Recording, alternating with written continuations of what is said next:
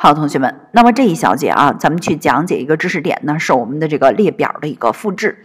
那其实列表复制非常简单啊，就是一个 copy 函数，都不需要去书写任何的参数。那我们看一下操作的这个流程。如果我们有一个原始数据，比如说 name list，那么存成了一个列表，那么这个时候呢，我们可以列表序列名点 copy，那就能做到把我们的列表数据复制出来一份儿。那一般工作场景下呢，我们会把复制出来的这份数据啊存到另外一个变量里边来。那这样的话呢，我的数据是不是就有原始一份和复制出来的一份？那么接下来啊，老师要给同学们拓展一下，copy 这个函数非常简单。那么在工作场景下，我们为什么要去复制列表的数据？那这是一个关键点。那接下来啊，同学们听老师讲。在工作场景下啊，我们一般都非常非常的重视数据，为什么呢？因为我们程序啊控制的就是数据，一般我们的数据来源都是非常非常不容易的。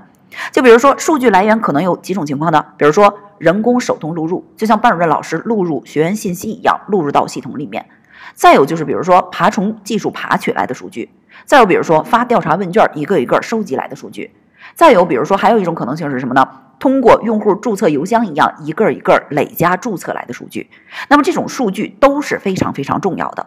所以，一般在工作场景下，我们涉及到修改或者是删除数据的时候，一般都会复制出来一份，保留原始数据的基础之上再做修改和删除。那无论你修改成什么样，删除成什么样，那我原来的数据是不是还有系统里边一个保留情况，对不对？哎，所以说，那么在工作岗位下，一般涉及到数据的这个，比如说修改啊、删除啊，尤为是删除，那我们会提前把它复制一份，再做删除操作。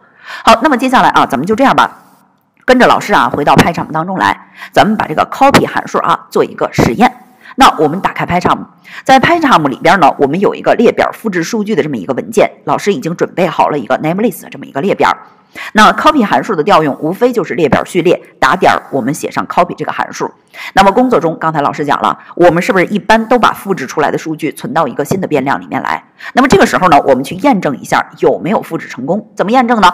打印 list 一。再与此同时打印原列表，咱们来看一下这两份数据是不是完全一样的。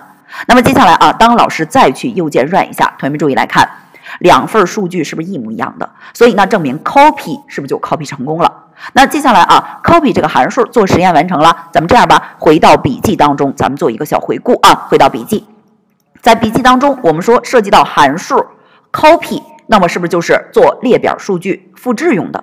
怎么用呢？列表序列点 copy 是不是就能做到把我们这个序列当中的数据进行一个复制？工作中复制完了，是不是把它存到另外一个变量里边？这样的话，我的数据是不是就一共有两份？